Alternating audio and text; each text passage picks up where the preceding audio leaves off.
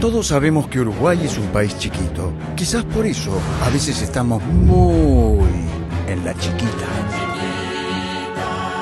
Y si no, mira. Uy, se complicó. Se complicó. Sí, ponele choclo, picles te gustan. Dale, ponele todo. Total es gratis. Y sí, estamos tan en la chiquita que barremos cualquier tipo de límite. ¡Epa! ¡Qué boquita! ¿eh? Mira, dejando regalitos. Pero, aunque parezca que hasta los más chiquitos están en la chiquita, solo parece. Tomá, la campeón. Porque los uruguayos somos grandes, de corazón. No estés en la chiquita. Pensá en macro. Cuanto más compras, menos pagas. Macromercado es negocio. Peñarol ganó ayer, es cierto, lo hizo por la mínima, no le sobró absolutamente nada. Peñarol es como una especie de alma en pena. Seguramente el hincha, el socio, está esperando terminar definitivamente este año. Un año desde el punto de vista deportivo nefasto. Hay que decirlo con toda claridad. Ayer el equipo gana sin sobrarle nada. Y si uno dice que Tiago Cardoso fue el RR etiquetas, o sea, si tenemos que etiquetar al mejor jugador del partido, perfectamente lo podemos ver en la figura de Tiago Cardoso, que tiene tres detenciones importantes en el primer tiempo y una en el complemento, muestra eh, fielmente lo que de alguna manera dejó el partido. Eh, un Peñarol donde fue superado un poco más en el primer tiempo por parte del equipo de la Luz. La Luz fue más peligroso, quizás teniendo menos la pelota. En el segundo tiempo el partido fue un poquito más equilibrado. Logra por la azotea Peñarol conseguir el gol de Menose. Y después el otro tema que tiene que ver con la conducción arbitral. De Santi Mota, el árbitro del partido, Santiago Mota, en la pasada jornada, donde la verdad, sinceramente, hubo algunas situaciones que por lo menos a mí no, no me convencieron en cuanto a decisiones que tomó. Cuando terminaba el primer tiempo, los últimos 5 o 6 minutos, como que todas las cortitas eran a favor de un solo equipo, en este caso de, Peñarol, y unas situaciones sobre todo el punto de vista disciplinario. Él saca una tarjeta amarilla en un momento determinado cuando los jugadores de la luz cada 5 minutos se caían haciendo evidentemente tiempo, y se la saca el técnico de la luz. Yo creo que eso estuvo bien pero después eran unas situaciones de idas y vueltas con el banco de suplentes futbolistas de la Luz, con el banco de suplentes de Peñarol, que no reprimió desde el punto de vista del aspecto de la conducta con las tarjetas como debía. ¿Qué dice Pablo? ¿Cómo le va? Bienvenido, un gusto saludarlo. Buenos días, Pillo, para vos y para todos los oyentes. Eh, bueno, un Peñarol que ayer la verdad dejó más dudas que certezas, creo yo. Si bien termina ganando el partido, me parece que fue 100% eficaz en cuanto a, sus ataques de ofensiva. Me parece que la situación clara que tuvo, sobre todo en el segundo tiempo, la convirtió y eso es el mérito que tuvo el Carbonero para llevarse el partido pero que me parece que eh, se esperaba un poco más, sobre todo teniendo en cuenta lo que era el rival, ¿no? Si bien la luz ascendió a, primera división eh, este año. Me parece que es un rival bastante por debajo de, Peñarol en cuanto a infraestructura y lógicamente presupuesto. Y, bueno, yo creo que se esperaba que quizás Peñarol saque un poco más de distancia para el partido de vuelta y sobre todo, como decía, pensando en la semifinal de, vuelta. Pero bueno, lo importante para el Mancha es que termina ganando un partido complicado, que quizás en el primer tiempo eh, no lo tuvo del todo controlado, pero que después del gol controló un poco más el partido y la luz prácticamente no pudo atacar eh, en todo el segundo tiempo, ¿no? Sí, eh, vos sabés que si yo analizo situaciones de gol en el primer tiempo, hay un tiro de Rossi de izquierda a derecha que termina eh, tirando el arquero al córner en un muy buen gesto desde el punto de vista defensivo por parte del arquero justamente del equipo de la Luz. Fue la única situación clara que tuvo Peñarol en el primer tiempo. En el segundo tiempo el gol de Menose y no mucha cosa más. Es verdad lo que vos decís, Pulu, que después del gol de Peñarol, como que la luz tampoco pudo llegar de una manera importante, trascendente, como para que en definitiva pudiera empatar. Está claro que también hay una jugada donde hay un remate de un futbolista de la luz, que Tiago, que la pelota termina medio saliendo tipo zapito, picando antes de llegar al arco, y Tiago Cardoso termina yéndose contra el palo izquierdo, sacando la pelota al córner. Eh, Tiago fue figura, sobre todo por lo que atajó en el primer tiempo. Entonces, desde ese punto de vista, eh, Peñarol es más de lo mismo, eh, Pulu, este, es un alma en pena. O sea, eh, más dudas que certezas, sí, a lo largo de todo el año fue así.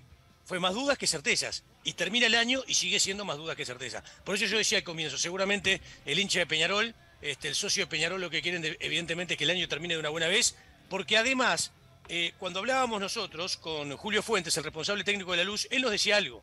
Yo lo que pretendo es estirar la definición hasta el segundo partido. O sea que no se dieron un resultado lo suficientemente importante en diferencia de goles como dar para, para terminada la serie justamente en el primer partido.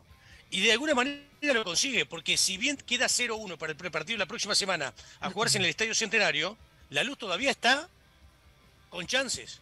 Esta serie no está cerrada ni mucho menos. Así que bueno, veremos qué es lo que pasa la, próxima semana. Eh, jugadores de Peñarol que a nivel individual están muy por debajo de lo que uno esperaba, sinceramente. Lo de Lozano es absolutamente preocupante. Estuvo en el banco de suplentes, ingresó en un momento determinado. Eh, ingresó Cristóforo también en el complemento. Eh, el Mota Gargano prácticamente ya no tiene minutos en Peñarol. Hay una serie de, situaciones en la interna carbonera que son realmente duras y que hacen que en definitiva la resultancia sea esta. Ganó, que es lo más importante para su equipo, lo más importante para Leo Ramos, no le sobró absolutamente nada, absolutamente nada. Yo ayer decía, tirando paredes en las voces del fútbol, en un momento determinado por Canal 5 y por nuestro canal de YouTube, yo lo que decía es, eh, la verdad me solidarizo con Leo Ramos porque el sufrimiento que se le ve en el rostro a Leo Ramos, en el costado de la cancha, durante el desarrollo del juego, cuando la imagen de Tenfield lo toma, es tremenda. Es tremenda. Eh, nosotros cuando hacemos los talleres de comunicación con los compañeros, ellos lo han hecho conmigo, hablamos mucho del lenguaje gestual, o sea, el lenguaje oral, verbal, y sobre todo el gestual y el corporal. Si ustedes leen el lenguaje de Leo Ramos que hacía con su cuerpo al costado de la cancha, es tremendo. Los gestos de Ramos denotan un sufrimiento enorme por darse cuenta que el equipo no da pie en bola. Es un equipo que recupera la pelota y automáticamente la pierde. Recupera la pelota, automáticamente la pierde. Recupera la pelota rápidamente para Rossi, para la Quintana. Yo creo que Rossi es uno de los que se salva ayer, este, pero cuando quieren la, pierden. Lo de la Quintana, el bajón que tiene la Quintana cuando mostró cosas muy interesantes en determinado momento al día de hoy es absolutamente llamativo. Pero está claro que está todo dentro de un contexto absolutamente de ciclo negativo que tiene Peñarol en lo futbolístico. Ayer cuando terminó eh, la voz del fútbol por Canal 5 con mi amigo Rafa, que le mando un saludo muy cordial, Rafa del Bus, que muchas veces me viene a buscar acá me no sé y después me trae, paramos ahí en Carrasco, en el bar Arocena para comer alguna cosa, porque obviamente salimos ya tarde y no, no cenamos y paramos ahí. Ayer había gente del fútbol, no voy a decir quién.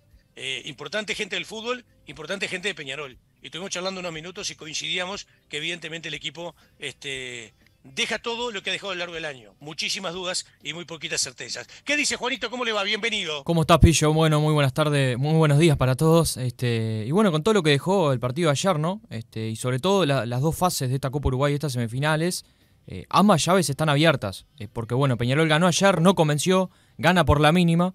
Eh, y bueno, a pesar de ese gol de Menose, que es una jugada de, pelota quieta, ¿no? Y ese cabezazo, un gol de Menose que viene desde el banco tras lo que fue la lesión de Jonathan Rack.